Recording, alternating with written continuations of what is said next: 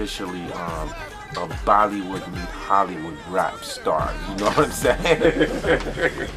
so the way this whole thing came about, I was sitting down with the Motorola people, and then there was like, yo, there's um Abhishek in uh, India, and I was like, yo, I'm going to India to do a show with Adesh. And I was like, yo, so I called him.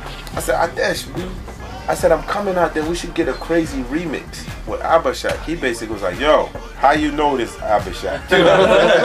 you ain't out here. I like, yo, I was sitting with the Motorola people. They told me he's hot. I said, you need to find him, put him on the remix. We got to have him on the rhyme. Because what happens is, music is universal. And that's the only thing that's going to change the world. Bollywood me Hollywood. My man Abhishek in the building. I dash talk to them.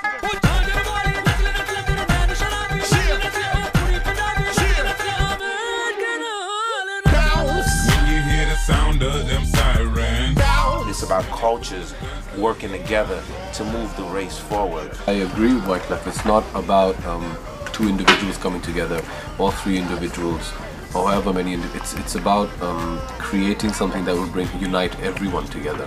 Yo, Mr. White, what's up? मैं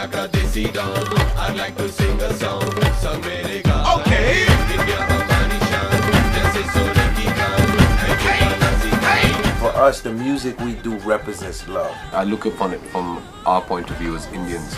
That somebody, you know, as talented and as great as, as Wyclef has the same approach of peace and love and spreading the word. I think that's the most important. Alright, let's do this desi style now.